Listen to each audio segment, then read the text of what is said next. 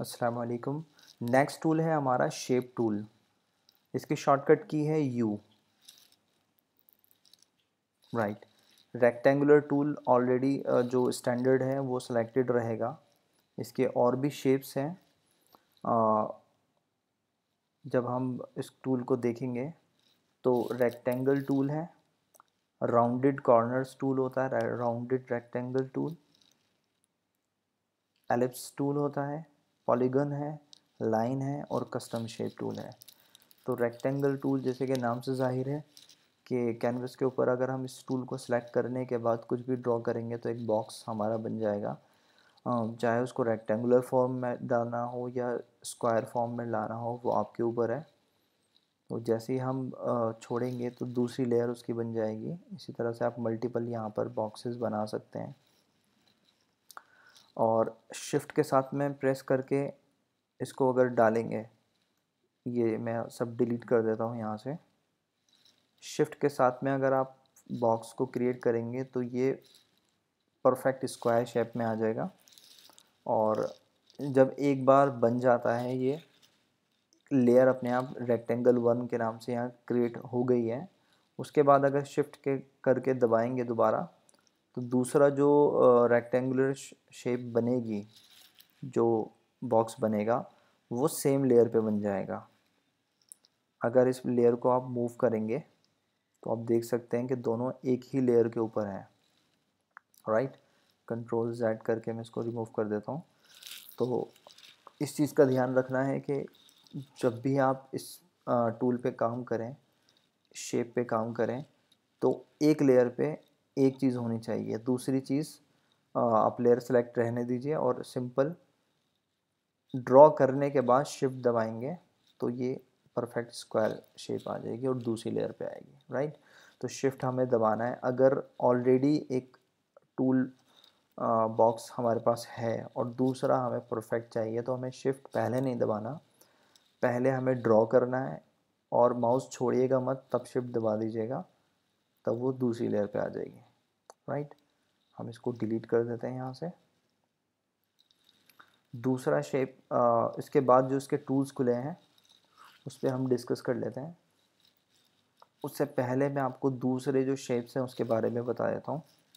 ये हमारा rounded rectangle tool इसके कॉर्नर्स जो हैं वो राउंड होते हैं।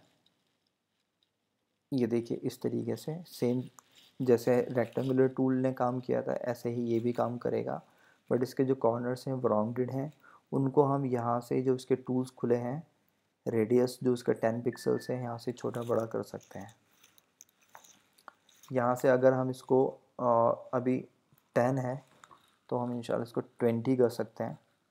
और क्लिक यहाँ पर ड्रॉ करेंगे तो ये देखिए आप इसकी जो कॉर्नर्स हैं, उसकी विर्थ बढ़ गई है। राइट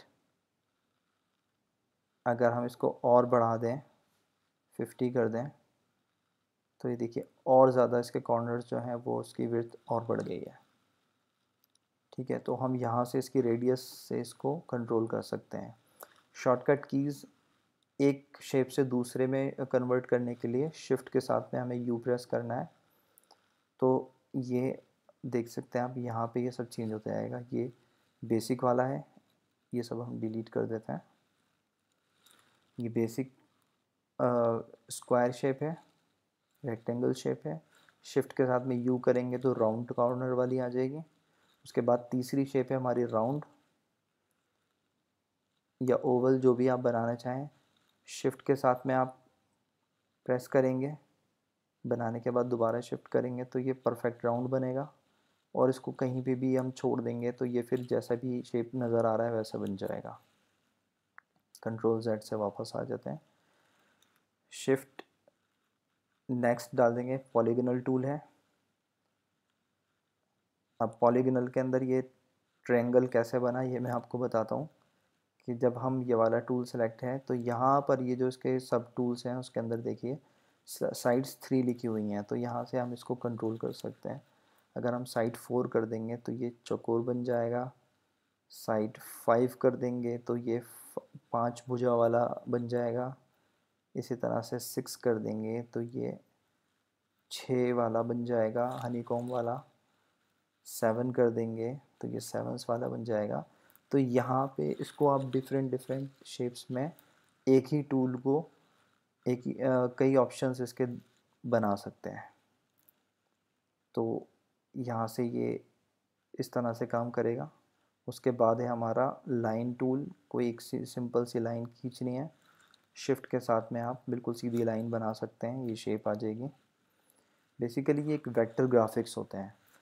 हमने इससे पहले जब फ़ोटोशॉप की शुरुआत में बताया था, दो तरीके के ग्राफिक्स होते हैं। एक वेक्टर ग्राफिक होते हैं और एक रेस्टर ग्राफिक होते हैं। यानी रेस्टर ग्राफिक्स वो होते हैं जिनके पिक्सल्स लिमिटेड होते हैं और वो बड़ा करने से, छोटा करने से फट जाते हैं। और दूसरे तरीके के वेक्टर ग्राफिक्स जो होते हैं, उसको आप कितना भी बड़ा, कितना भी छोटा कर लीजिए, वो जिस फॉर्म में है, उसी फॉर्म में रहेंगे। जैसे कि मिसाल के तौर पे अगर हम एक पॉलीगनल सेवन साइड्स का बॉक्स बनाते हैं और एक्चुअल पिक्सल्स में जाके देखते हैं इसको। तो इसके जो एजेस हैं, वो शार्प हैं। मैं आपको दोनों का फ़र्क बताता हूँ। और इसी की एक डुप्लीकेट कॉपी हम कर लेते हैं। ऑल्ट दबा के हम इसको ड्रैग कर लिया, दूसरी कॉपी बन गई। इसको हम रेस्टराइज कर देते हैं रेस्टर ग्राफिक कर देते हैं रेस्टराइज लेयर कर दिया हमने। दोनों दिखने में बिल्कुल सेम है, एक दूसरे की बिल्कुल कॉपी है, लेकिन प्रॉपर्टी वाइज ये दोनों बिल्कुल अलग अलग हैं। कैसे अलग हैं?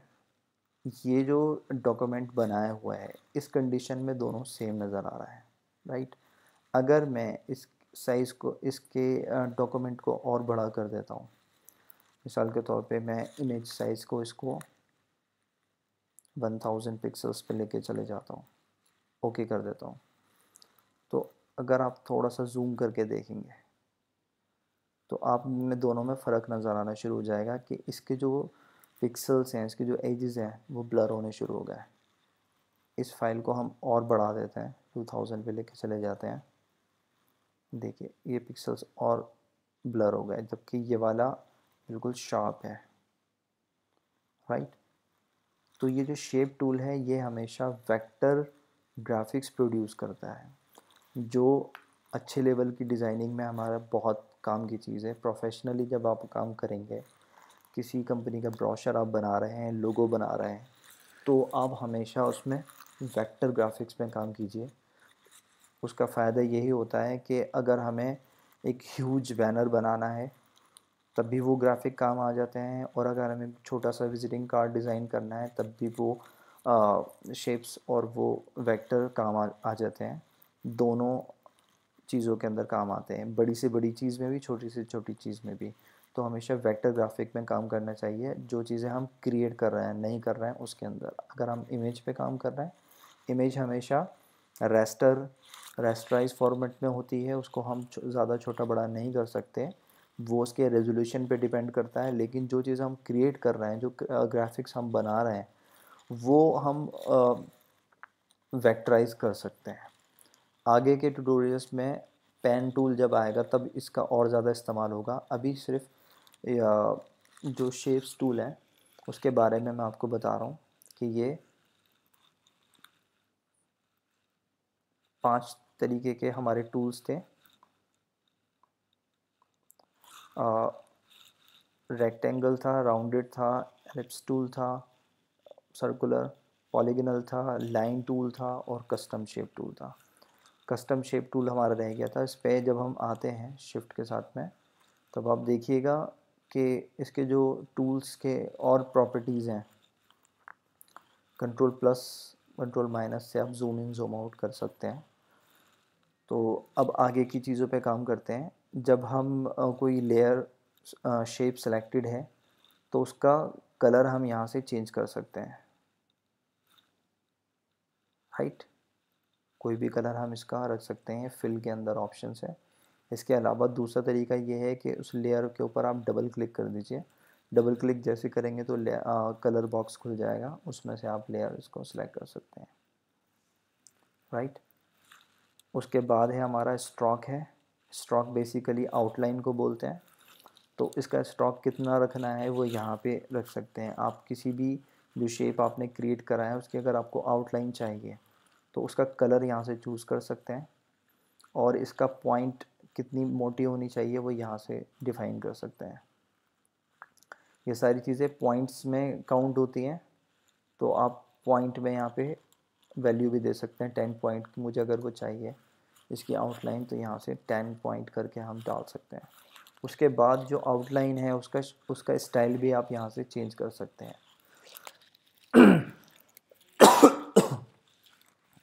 मिसाल के तौर पे यहाँ पे सीधी लाइन है, यहाँ पे डॉटेड देख सकते हैं आप डॉटेड हो गई है। यहाँ पे तीसरा ऑप्शन आ गया है। तो यहाँ से हम आउटलाइन के अलग अलग यहाँ से कलर भी चेंज कर सकते हैं। राइट ये इसकी विड्थ और हाइट है। इसको आप चेंज करके देख सकते हैं।